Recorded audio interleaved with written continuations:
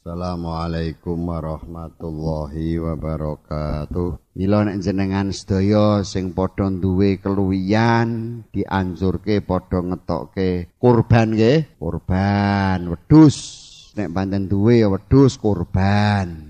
Nek gadah lan kuduwe kelas kurban wedhus wedhus ya wedhus sing wis sampurna ora kena wedhus sing cilik ora oleh wedhus sing gudiken wedhus sing sampurna niku tujuane ming kanggo alat saya parek dhateng Gusti Allah.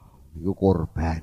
Pegdale nek ajeng kurban tanggal 10 tekan tanggal pinten iki wau? 3 welas niku waktune nyembelih kurban.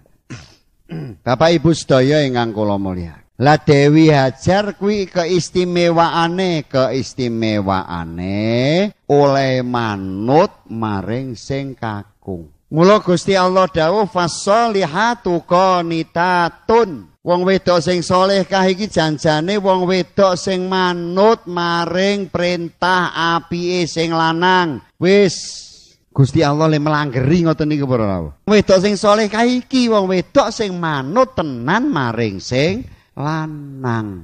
Mesti wae manut ing dalem perintah sing bagus. Gini mboten?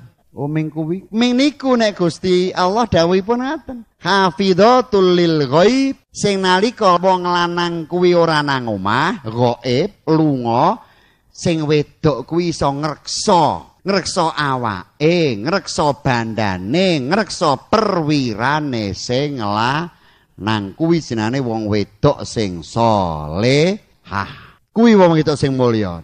Mula Dewi Hajar manut.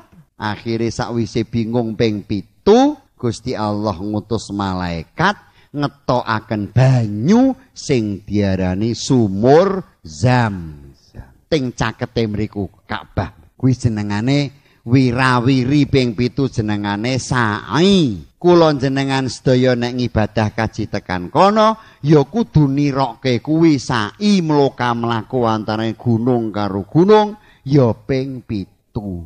Berarti tindakan ngibadah haji menika ingkang kathah nyontoh tindak lampahipun Kanjeng Nabi Ibrahim Kanjeng Nabi Ismail Dewi Haji Iki wong telu niki mila kula jenengan sedaya pancen mulyane wong wadon iki garek ndelok manute maring sing lanang ning ing dalem perintah sing bagus.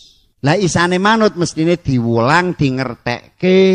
Ning upama ngerti wis ngerti ngaji, ngerti carane manut nek ra gelem manut tetep ora diarani wong wedok sing salehah. Kliwate ra iso ngaji sane salate apik Qur'ane fasih wis ning manut tenan. Lah kuwi jenenge wong wedok sing saleh mila kula jenengan sedaya monggo sareng-sareng sing arep padha kurban padha nyaket dateng Gusti Allah ora kudu nganggo wedhus tapi nganggo apa sing do diduweki Apa ya apa sing diduweki? Duweki ya kesabaran, kurban, ngaji.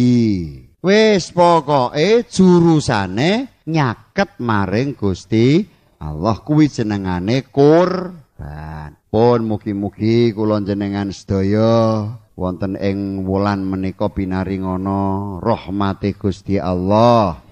Paringi makmur sekabehane khususe imane paringi wutuh anak-anake padha dadi anak sing apik-apik.